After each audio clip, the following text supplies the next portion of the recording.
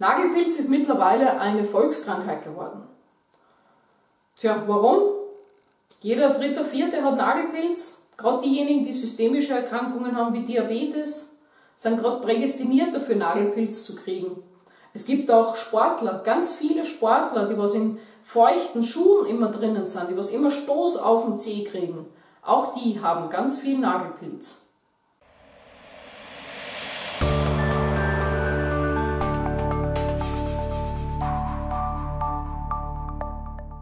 Möchtest auch du mehr über Nagelpilz erfahren und bist Podologe, Podologie-Schüler? Unten in der Infobox ist der Link zur Podologie und mehr Akademie. Da kannst du dir Videos angucken rund ums Thema für die Podologie.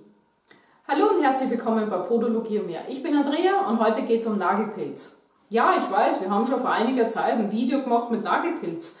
Aber was eigentlich geschehen ist seit der langen Zeit, ähm, das schauen wir uns gleich einmal an. Wir haben dir dazumals ähm, drei Patienten gehabt, wo ich euch die Fotos gezeigt habe.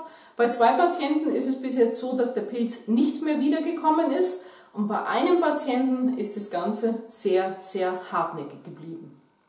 Ich habe euch jetzt die Fotos eingeblendet, wie der Verlauf ist des Ganzen.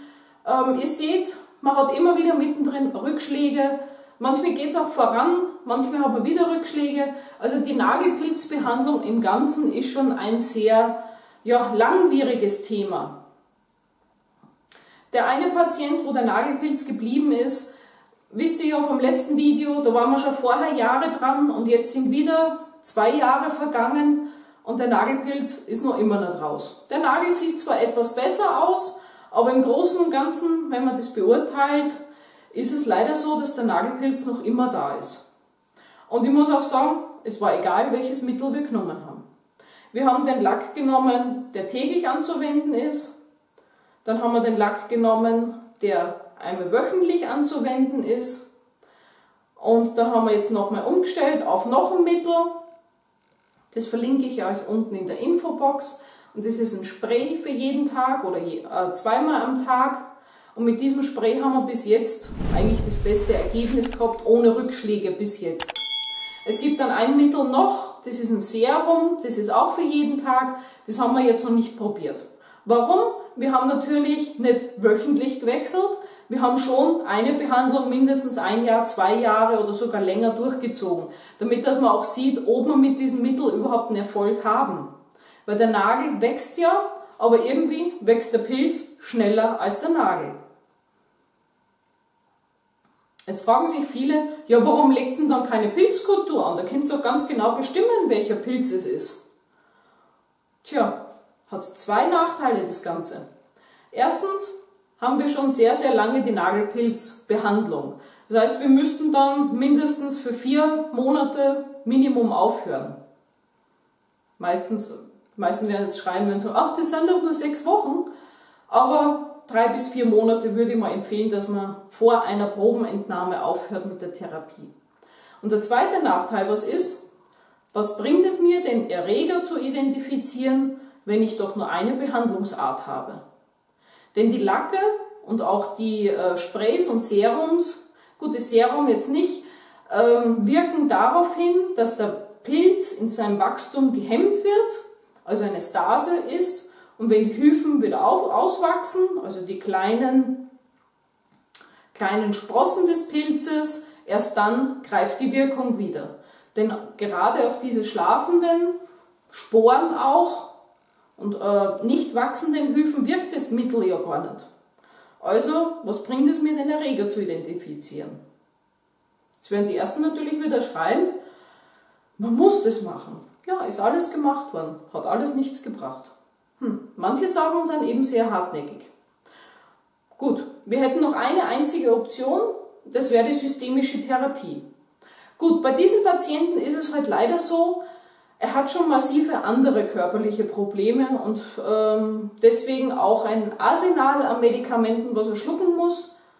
Und ich muss jetzt ganz ehrlich sagen, ob, ich weiß jetzt nicht, ob es sinnvoll ist, den Körper noch zusätzlich zu belasten zu den Medikamenten, die er eh schon nimmt. Der Patient selber ist auch gegen diese Medikamenteneinnahme. Also zwingen können wir ja sowieso nicht. Wie behandeln wir jetzt den Nagelpilz in unserer Praxis? Ja, Es kommt verschieden drauf an. Mein Stand, meine Standardbehandlung ist so, ich fräse den Nagelpilz ab, bis das wirklich fast jedes sichtbare, ja, infizierte Nagelgewebe ab ist.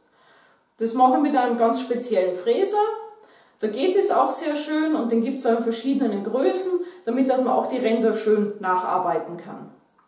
Natürlich liegt das Nagelbett nachher frei, aber es blutet nicht. Man muss natürlich aufpassen beim Arbeiten. Wenn das Nagelbett jetzt frei liegt, hat der Patient vielleicht hm, so ein, zwei Wochen leichten Druck drauf, aber das Nagelbett härtet sich dann ab und dann spürt der Patient eigentlich, ja, er spürt nur den normalen Nageldruck, aber jetzt da keine Schmerzen mehr. Und gut, man muss natürlich auch mit Mittelchen behandeln. Wie gesagt, es gibt die vier Mittel, Lack für eine Woche, Lack für eine, äh, einmal am Tag, dann gibt es noch das Serum für ein bis zweimal am Tag und den Spray für einmal bis zweimal am Tag. Ich muss jetzt da ehrlich sagen, mit den Lacke bis jetzt, tja, eher durchschnittliches Ergebnis. Das Serum habe ich jetzt noch nicht so lange in Testung, aber das, was ich bis jetzt gehabt habe, war eigentlich ein sehr gutes Ergebnis, besser als bei der Lacke. Und bei dem Spray, ja, würde ich jetzt sagen, zweitbestes Ergebnis. Es kommt halt immer darauf an, wie der Patient auch zu seinen Füßen kommt. Weil wenn ich jetzt einen Patienten habe, der sehr mollig ist und der was eben ähm, ja, bewegungstechnisch nicht mehr zu seinen Füßen runterkommt, dann kann ich ihm dieses Serum auch nicht geben. Weil dieses Serum muss am Nagel verrieben werden. Denn es braucht Sauerstoff, das ist so ein Serum mit Algen drinnen und ähm, wenn das jetzt nicht verrieben wird und ähm, dünn genug aufgetragen wird, sondern nur Tropfen drauf vor der Weite, dann funktioniert das nicht. Da ist der Spray wieder besser, dann kann ich an den Fuß so, so und so vor der Weite hinsprühen und gucken, dass das Ganze ordentlich drauf ist. Ist jetzt da, ja, dem geschuldet, wie der Patient eben mobil ist oder in der Beweglichkeit halt gut ist. Was man im Großen und Ganzen mit den Nagelpilztherapien sagen muss, es kann besser werden und es muss nicht besser werden. Es ist immer eine individuelle Geschichte.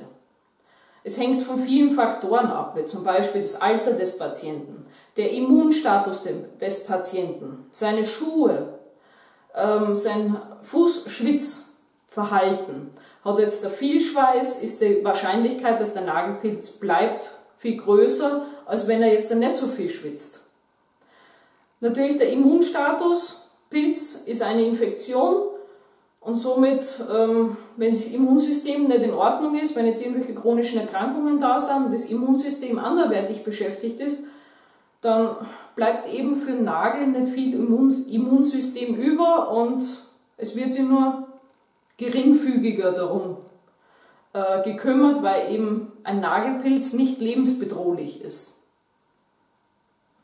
Und die anderen Faktoren, tja, die kennt ihr auch alle denken, ist die Umwelt. Wenn ich jetzt dann natürlich jeden Tag draußen rumlatsche, mich fünfmal am Tag am Zeh anstoße, habe ich ein höheres Risiko, an Nagelpilz zu erkranken, als wenn ich jetzt nur drinnen sitze und offene Schuhe trage und nirgendwo anstoße. Denn auch die Trauma oder die Nageleinrisse, Nagelverletzungen auch das kann Nagelpilz begünstigen. Ja, was ist noch allgemein zu sagen zu den ganzen Nagelpilztherapien? Ihr müsst es ausprobieren, was euch am besten hilft. Es gibt welche, die schwören auf Essig, es gibt welche, die schwören auf Teebaumöl oder sonst viele ganz andere Basenbäder zum Beispiel oder ja, auf ganz viele Sachen. Aber das Wichtigste, wirklich das aller, aller bei einer Nagelpilzbehandlung ist durchhalten, regelmäßig das Ganze machen und nicht zu früh aufhören.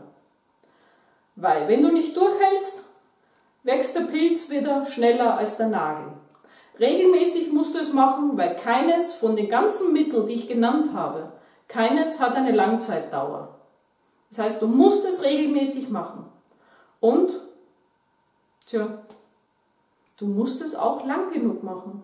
Auch wenn, du, auch wenn der Nagel schon rausgewachsen ist und du siehst eigentlich keinen sichtbaren Befall mehr, dann darfst du nicht vergessen, dass der Pilz eine Art Myzel macht. Myzel sind so, so ein kleines, nicht sichtbares Wurzelgeflecht des Pilzes. Das kennt man vom Wald. Da sind die weißen Myzele im Boden. Und diese Myzele oder auch die Sporen, die siehst du mit freiem Auge nicht.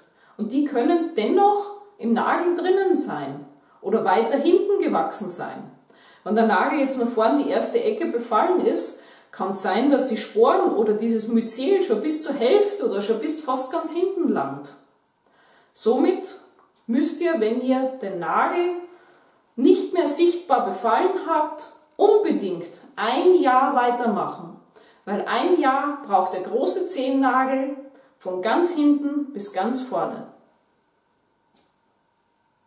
Und somit, falls ihr Nagelpilz habt, wünsche ich euch gute Besserung und ja, versucht es mit den Mitteln. Ich vermute mal, ihr habt schon ziemlich viel ausprobiert. Ihr könnt es auch gerne unten in die Kommentare reinschreiben, was euch geholfen hat. Vielleicht hilft euer Tipp auch jemanden anderen, der mit Nagelpilz infiziert ist.